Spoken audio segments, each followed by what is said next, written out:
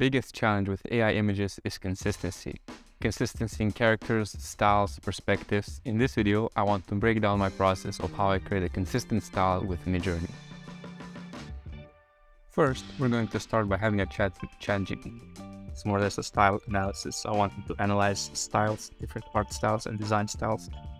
So I would like to create the high contrast with uh, strong shadows and depth of field stuff. Yeah. And it gives me kind of an answer. It gives me like strong comp composition, high contrast lighting, limited color palette, depth of field, textures, perspective. So I already have like a few elements that I can use. And I usually start by selecting a subject, dark undercity with a black market alley, something like this and I usually use the first weight of like six and then I see how many I have.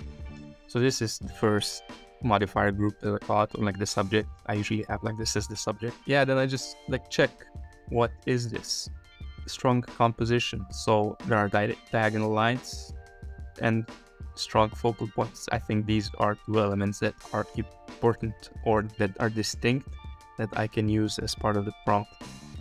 And I usually go for like two weight of 2 for this. I continue creating modifier groups with individual elements I received from ChatGPT.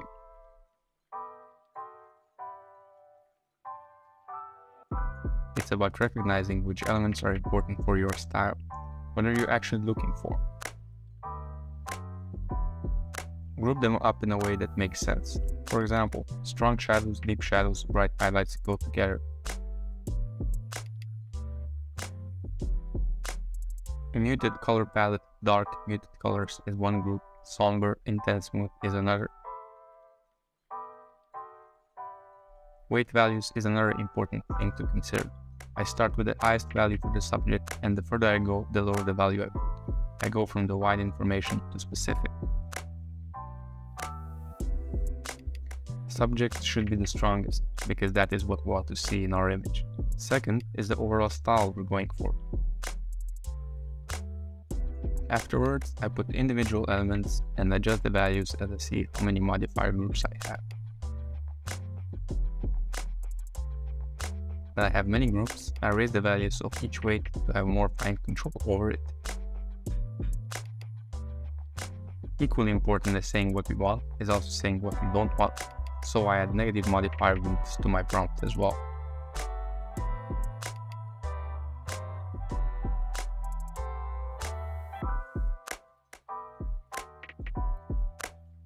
Once I have chosen my elements and put them into modifier groups, it becomes a creative process of finding what looks good for you.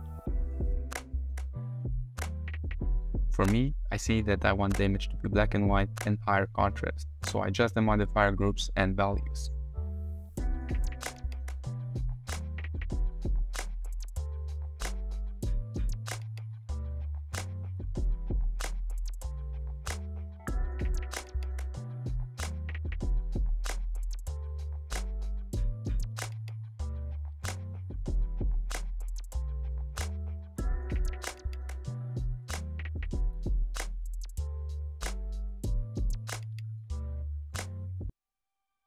In the end, I have a prompt template I can reuse to keep the style of my images the same while changing the subject.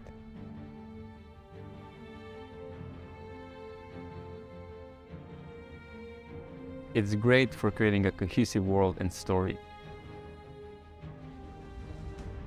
If you found this video useful, give it a like. I'll be making more videos on how I use AI in my creative process. You can start by watching the videos here. Keep creating and don't forget to have fun.